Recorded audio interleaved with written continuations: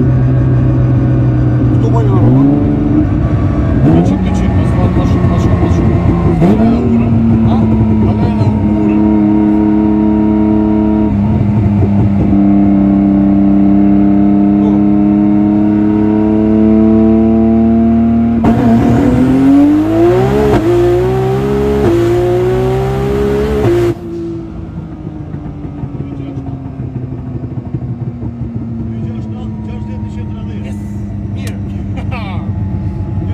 Mirko. Eu falei assim, tava do do, do